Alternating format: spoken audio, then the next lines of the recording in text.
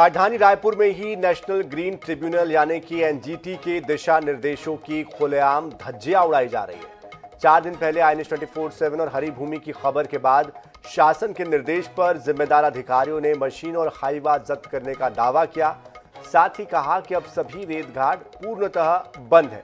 लेकिन हमारे reality check में प्रशासन के दावे की पोल खुद ब खुद खुल गई।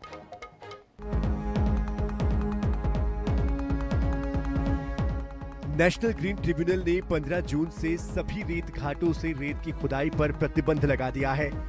इस आदेश के बावजूद राजधानी रायपुर में धड़ल्ले से मशीन से रेत निकालकर हाईवा से ढुलाई चल रही थी।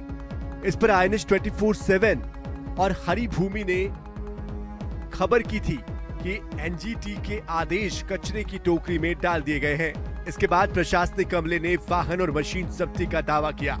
साथ ही अब पूरी तरह से रेत घाटों से खनन बंद होने की बात कही। हमारी टीम शनिवार को फिर महानदी के किनारे रेत घाटों तक पहुँची। तो मशीनें रेत निकालते तो नहीं दिखी, लेकिन ट्रैक्टरों की कतारें रेत लेकर नदी से निकलते ज़रूर दिखी।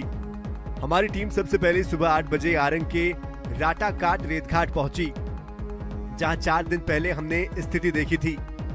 आज भी नदी के दोनों छोर पर रेत निकालने और परिवहन का काम जारी था। ऐसा ही नज़ारा आरंग के कुम्हारी रेत घाट पर भी देखने को मिला। दूसरी ओर आरंग के भोरडीह में ग्रामीणों ने बैठक कर रेत घाट के संचालन पर रोक लगाने का निर्णय लिया है। तो अभनपुर के पारा गाँव में रेत घाट पूरी तरह से बंद मिले।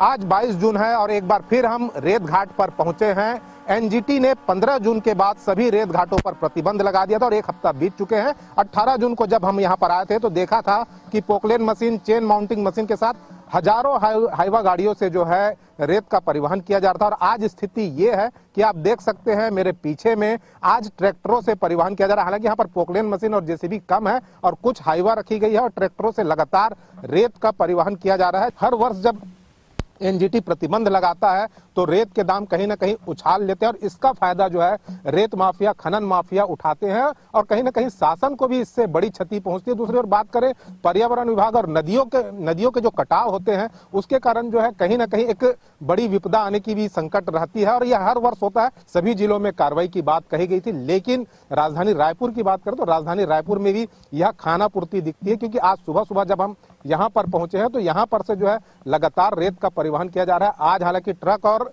ट्रैक्टर के माध्यम से परिवहन हो रहा है और कुछ हाईवे भी यहाँ पर लगे हुए कुछ जेसीबी भी लगी हुई है और यह स्थिति बताती है कि खनन माफिया किसी भी नियम कायदों का पालन करने के लिए तैयार नहीं है और इसके अलावा बात करें प्रशासन की, जिन पर इन नियम कानून का पालन कराने की ज़िम्मेदारी होती है, वे भी अपनी ज़िम्मेदारी से कहीं ना कहीं जो है बचते हुए नज़र आ रहे हैं। अब देखने वाली बात होगी कि सभी रेत घाटों पर पूर्णतः प्रतिबंध लग पाता है या नहीं।